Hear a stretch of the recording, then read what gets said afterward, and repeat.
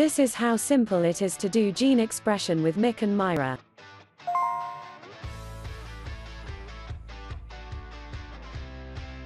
Start by creating your assays. Give your gene a name. Enter your reaction components, along with volumes. Select the tube types for each component. Now edit your profile. Add a hold for RT. Remove steps and adjust the conditions. Set your analysis parameters.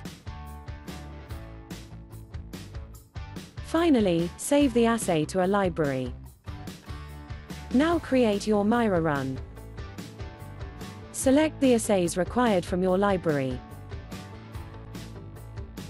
Annotate your samples. Use the autofill to help you out. Set any control. Create your groups.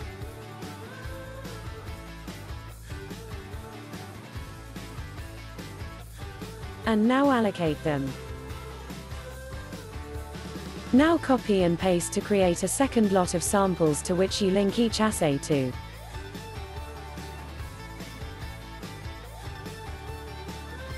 Move to the deck layout and set it up the way you want. Add a new plate if required. Allocate the components and mixers to the deck. Remember to select the tube types. Now allocate the templates. Now load the deck.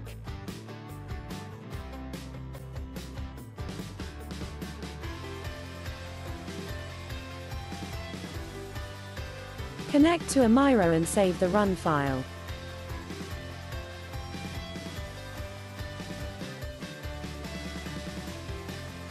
Tick off the checklist and start the run.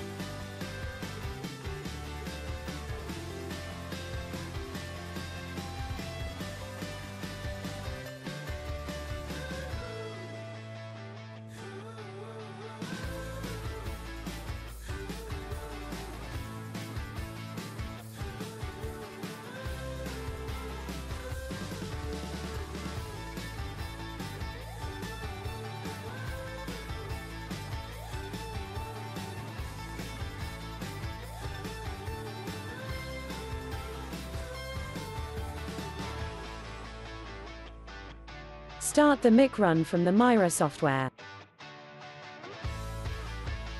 Select the MIC. Start the run.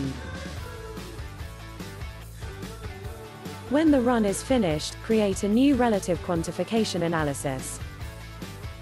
Just select your control and treatments. And your result is complete.